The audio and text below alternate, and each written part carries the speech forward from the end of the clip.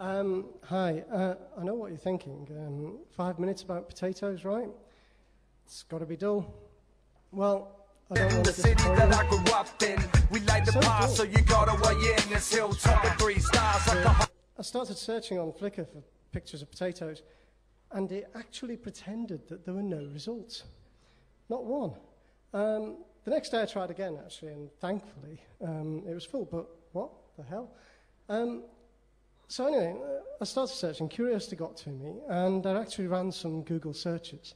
Um, and I found that in the Daily Mail you had about 57,000 mentions, on the Telegraph 333,000 mentions for some reason, and on the Times only 584. That's paywalled. Um, anyway, some facts. Um, the potato is related to the tomato. Uh, the tomato is related to the deadly nightshade. Um, and in fact, all those plants actually contain significant quantities of a toxin called solanine. And that actually brought a question to mind. If potatoes are toxic, I needed to know how many potatoes can I eat, um, or would it take to kill me? Or better still, Piers Morgan. And I actually found that, to my surprise, five kilos of potatoes um, is a fatal dose if you can eat it all in once. Or if you go crazy and eat all those green ones on the right, um, just a kilo could deliver a fatal dose. And if this scary freak here uses his $3,500 spud gun, the fatal dose, albeit not delivered as a chip, um, might be just one. Um, he sells these, um, so if you fancy a Rambo esque potato based action adventure, go for it, spudtech.com. Of course, there's certain potatoes that are so dangerous, um, so scary, that we should all actually be very, very careful about them. Um, and get one of these in your life, you may never be the same again. Um, so, anyway, my original actual premise for the talk was this. What if the potato just got discovered recently? Um, what would happen in today's society and media? And one of the first problems would be that the EU novel foods regulations uh, would get in the way. Um, in particular, uh, toxicity testing. Something so toxic as potatoes um, would actually be quite unlikely to get any kind of approval. Um, however, it's not a novel food, so Tesco's are still allowed to sell it to you. So, yay. Um, but I imagine um, potatoes actually yield more food calories per acre at about 17.8 million than corn, which is at 12.3 million, um, or say wheat at 6.4 million per acre. Meaning that politically it's actually a very, very attractive food crop.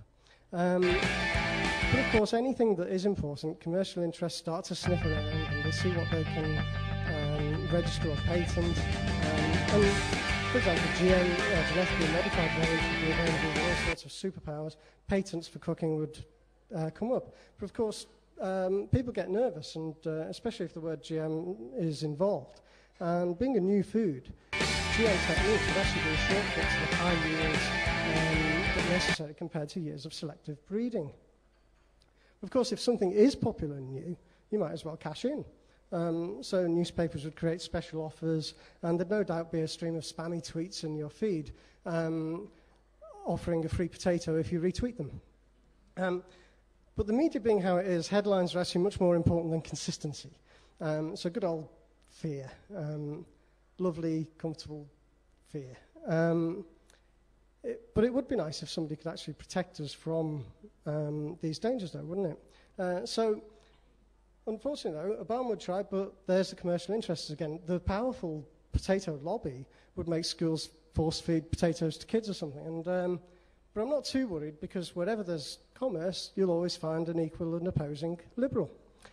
Um, uh, but quite quickly, you see, McDonald's would have seized on the cheap calories available in their McFried chopped potato range, and they'd feed us huge amounts of potatoes. But he'd be there proving to us uh, and trying to save us from obesity. He might fail, though. Um, but one thing I did notice in all this was that in real life, the popular media, the websites, they're not actually full of toxic potato headlines. And that teaches us something that we're actually much more afraid of new dangers than we are of old familiar ones, regardless of scale.